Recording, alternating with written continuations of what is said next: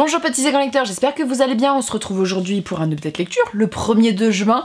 Euh, actuellement je filme en mai, la semaine dernière il faisait une chaleur à crever, aujourd'hui je suis obligée de mettre un pull parce que sinon on se les caille.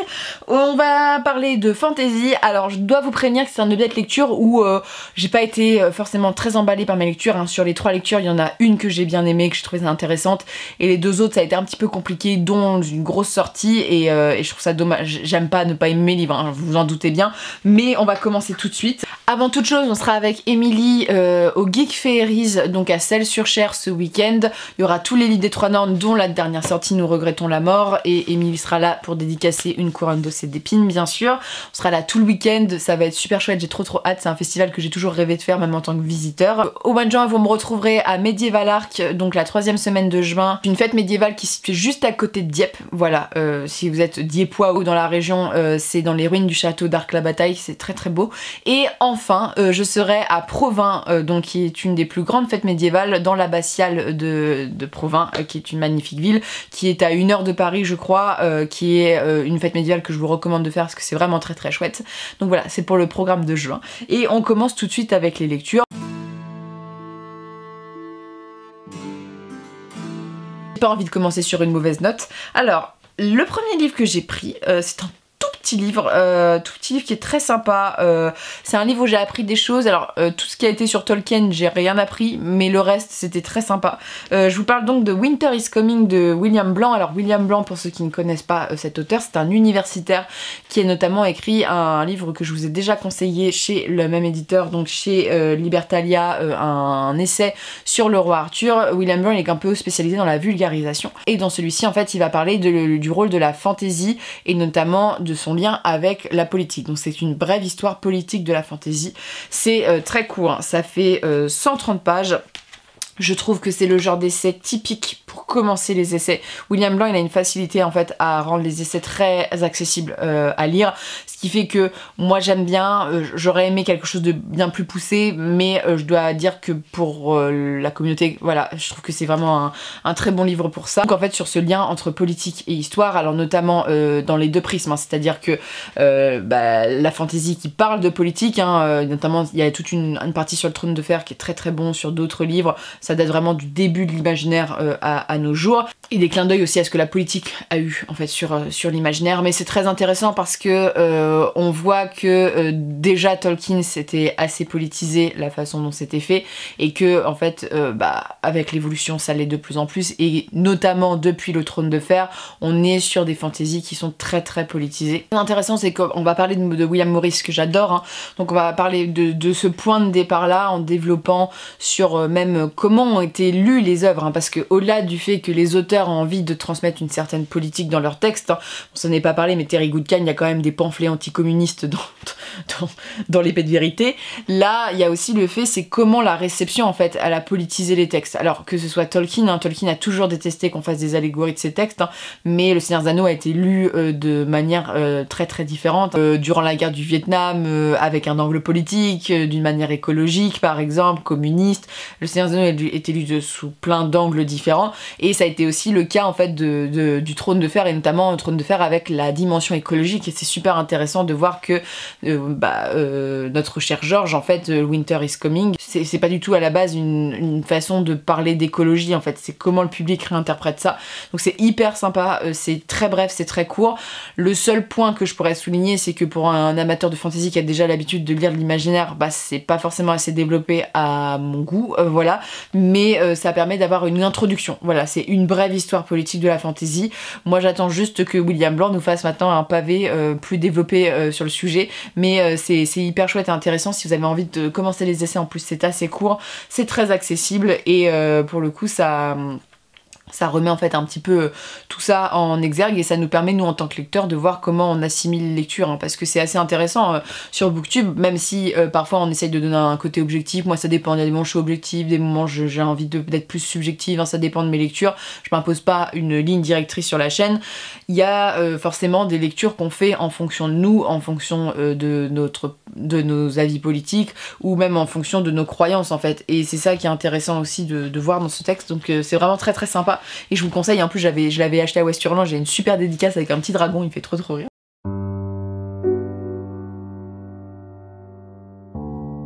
Je suis assez décontenancée, notamment pour un, je suis, un peu embêtée d'en parler forcément en négatif parce que euh, je trouve que le projet est chouette, mais on va le présenter en dernier. Je vais, vous présenter bah, la grosse sortie en ce moment. Je vais pas vous dire que j'ai apprécié ma lecture, ça serait, mentir. Euh, je me suis ennuyée en fait dans ma lecture.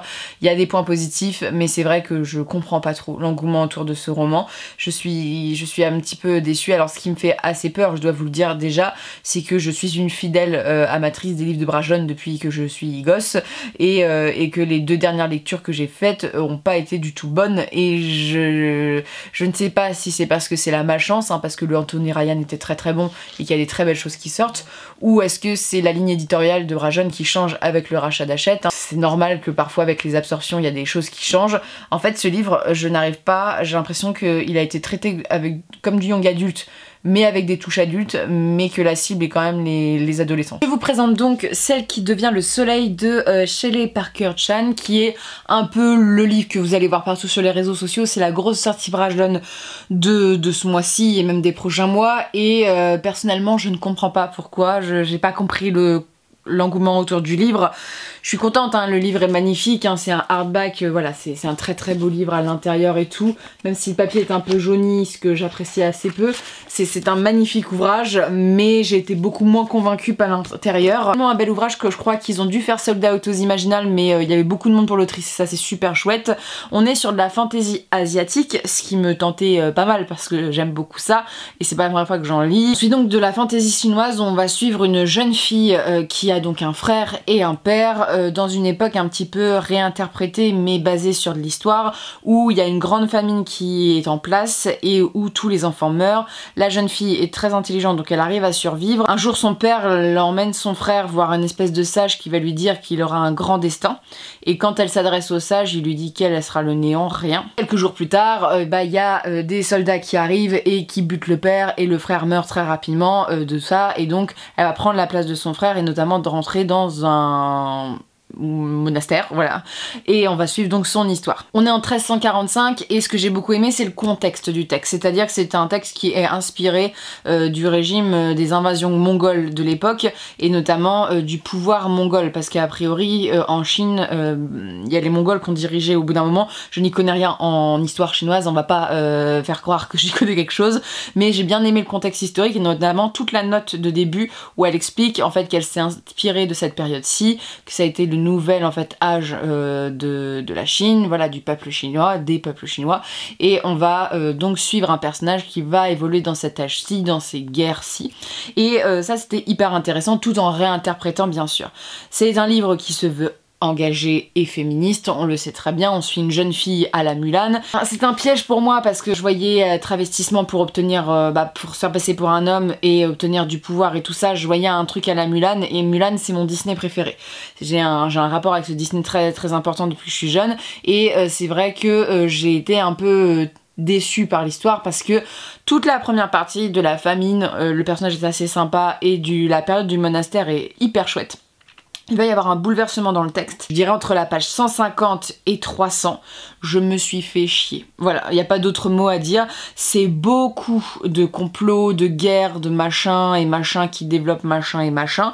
Mais en fait, on ne montre pas la guerre, on ne montre pas les complots, tout est rapporté. Et en fait, il n'y a pas d'action, il n'y a pas d'intérêt, euh, il n'y a pas de violence, il n'y a, rien qui fait le sel en fait des publications Brajon à l'habitude. Je rappelle que Brajon est euh, donc de la fantaisie adulte. Ils ont créé il y a peu, euh, maintenant ça va faire peut-être un la collection Big Bang pour euh, le young adulte. Et euh, donc j'ai été un petit peu déçue par ça. Bien sûr avec une reprise à la fin qui est beaucoup plus intéressante. Voilà. Euh, on est vraiment sur un creux de milieu de roman qui est très ennuyant selon moi et donc le roman est en dents en fait. Vraiment la qualité du roman est en dents de scie. Les points sont donc cette ambiance qui est créée, voilà, euh, mais qui à mon sens n'est pas assez développée. On nous vend un truc un peu de fantaisie historique, mais en fait il y a très peu de choses, ou quand c'est fait c'est hyper lourd et mal amené je trouve, selon moi. Ça donne pas très très envie de, de lire en fait.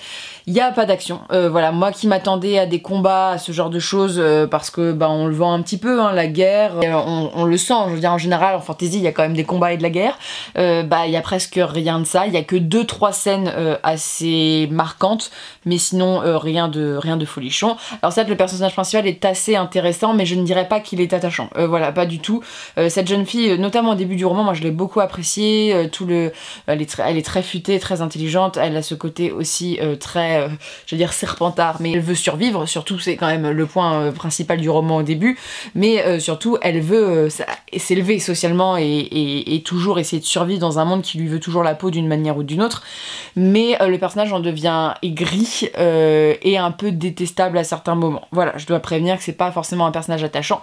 Le côté gris du personnage, et ça, ça je ne veux pas vous spoiler, mais c'est un des seuls points forts du texte, c'est-à-dire qu'on a un personnage qui est très froid et qui est amené à faire des choses qui sont parfois choquantes. Le seul bémol, c'est qu'en fait, le côté choquant, gris, n'est pas accompagné avec le côté fantasy guerrière qui aurait été intéressant. Et surtout, euh, je trouve qu'il y a des touches très young adulte euh, au récit.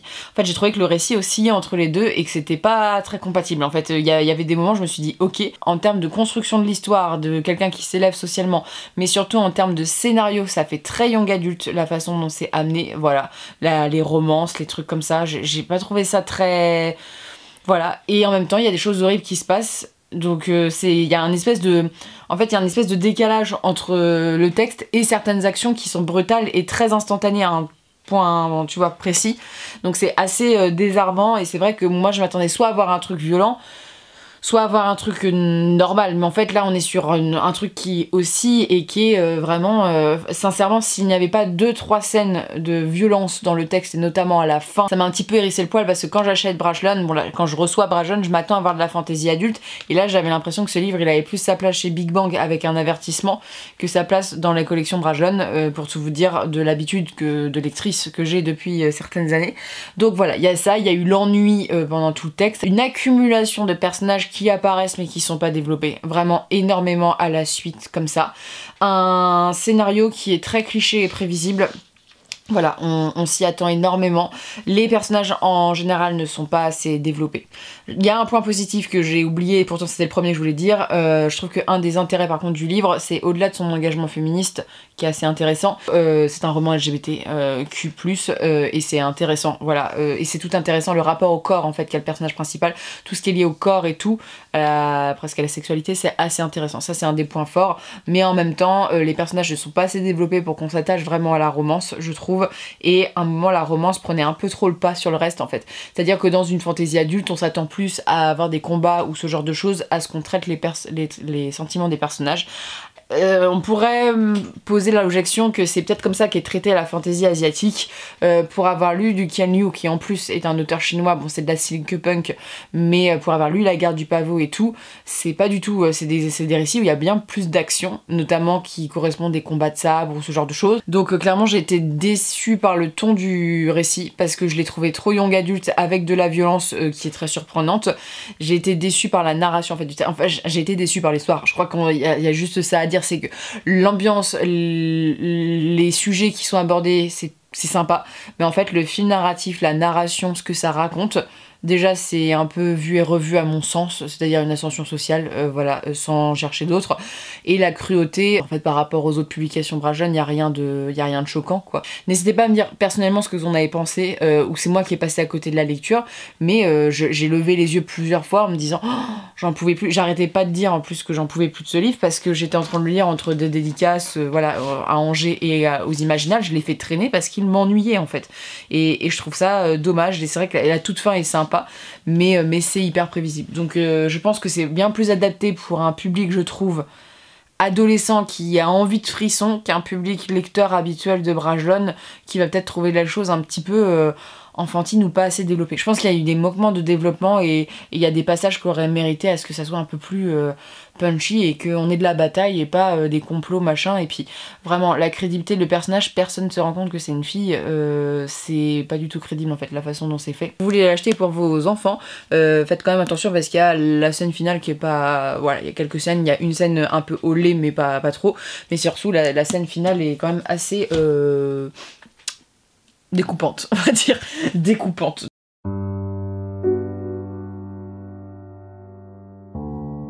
Et ensuite, on va passer. Alors là, c'est celui qui m'embête le plus de vous parler parce que j'avais vraiment pas envie de dire de, négatif sur, ce livre parce que c'est un très beau projet et qu'en plus je soutiens ce genre de projet et que je préfère le dire maintenant que je soutiens ce genre d'initiative et euh, ça me blesse, ça, m'embête encore plus parce que j'ai rencontré un auteur qui est très sympa.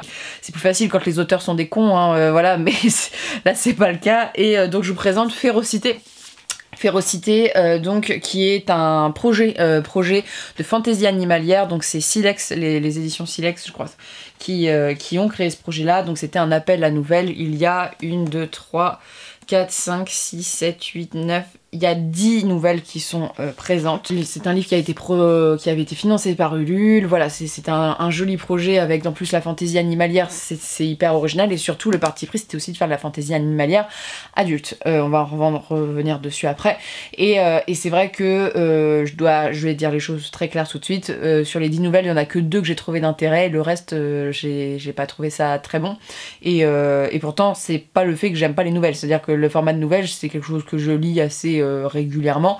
Ça ne me dérange pas, simplement euh, bah, j'ai été un petit peu déçue parce que la couverture me vendait du rêve. Moi, la fantaisie animalière, euh, ça, ça me rappelle beaucoup euh, donc les fables de La Fontaine, que j'ai étudié en plus à la fac. Donc c'est un genre, euh, on va dire le fablio que je, que je maîtrise un petit peu parce que bon, troisième année, on le pousse quand même un petit peu loin. Et, et c'est vrai que tout ce qui est roman de renard et tout, moi, c'est des choses que j'aime beaucoup habituellement. Et bon, la fantaisie animalière, le problème, c'est qu'on a une image qui est très liée à l'enfance maintenant, notamment avec la guerre des clans et tout. Moi, j'ai un peu du mal avec ça. Je me suis dit, super un beau projet français, machin, euh, avec de la fantaisie qui nous est promu pour des adultes. Et, euh, en fait, euh, bah, ça n'a pas fait. Alors, il y a deux nouvelles qui m'ont plu. je vais peut-être passer par, là. Alors je ne sais même plus le nom des nouvelles, alors ça va être, ça va être sympa. il y en a une, je vais vous juste vous décrire les histoires qui parlent de zombies, voilà, qui est assez chouette. Et il y en a une avec des mercenaires dans une ville où il va y avoir une espèce de massacre qui était chouette. C'est les deux que j'ai appréciés, sinon je me suis ennuyée. J'ai Et en plus quand j'ai commencé euh, le livre, la première nouvelle, mais vraiment je me suis dit, euh, ok, euh, bah ça n'est pas bien parti parce que j'aime pas du tout en fait je, je comprends pas l'intérêt voilà. Donc c'est j'aime pas dire du mal mais c'est vrai que le reste j'ai trouvé ça ennuyant euh, j'ai pas vu trop trop l'intérêt.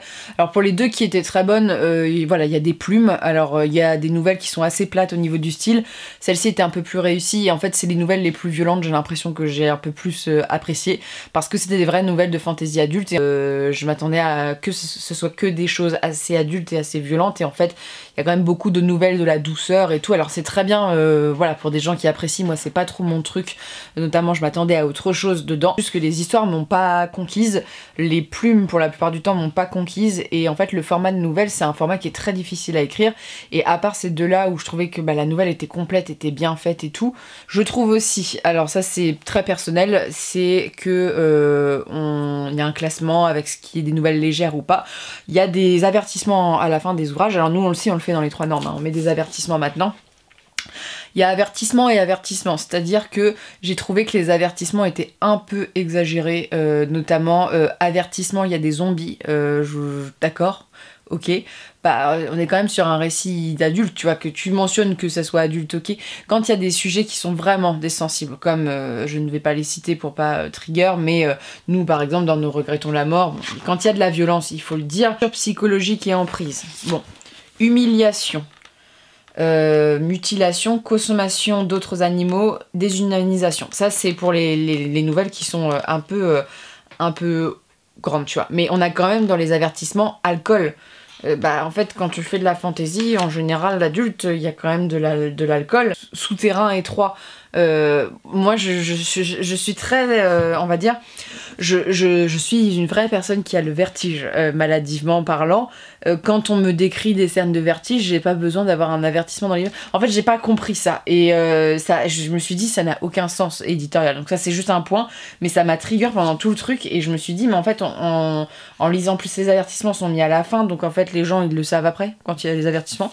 Bref, c'est pas, pas très pratique. Mais surtout, euh, j'ai trouvé qu'en fait, ils le disent clairement que c'est de la fantaisie adulte, donc on va pas s'attendre à ce qu'il y ait des petits cœurs et des petits lapins tout le temps. On sait que ça va être.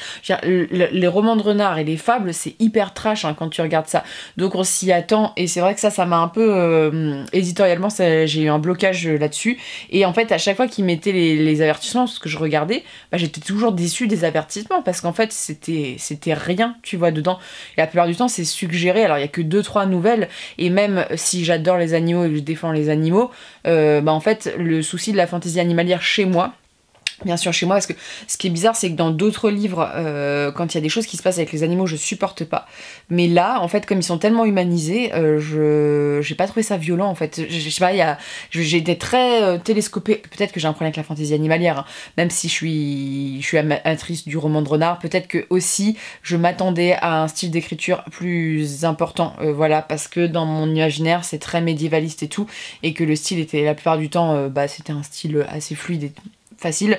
Donc euh, ouais, c'est c'est vraiment même la qualité des en fait de la construction de nouvelles. Euh, j'ai été euh, déçue qu'il y en ait que deux que je trouve bien sur les 10 et ça n'a pas été des coups de cœur. Hein. Je vous parle pas des nouvelles, je vous parle pas par exemple des nouvelles comme Dan Simons qui a écrit par exemple il y a des nouvelles qui m'ont énormément marqué, qui sont superbes et tout. Pas du tout critiquer les auteurs et tout, c'est simplement que moi c'est pas passé. Je n'achèterai pas forcément le prochain projet de Silex parce que euh, ça parle des isekai. Euh, donc euh, isekai, c'est quand il y a un personnage qui est propulsé dans un nouveau monde. Voilà, comme Alice au pays des merveilles, beaucoup présent dans le jeu japonais et tout, dans les jeux vidéo et tout. Pour moi, c'est un trope de fantasy vu et revu. J'ai pas envie de lire ça. Là, je trouvais ça original, les isekai beaucoup moins.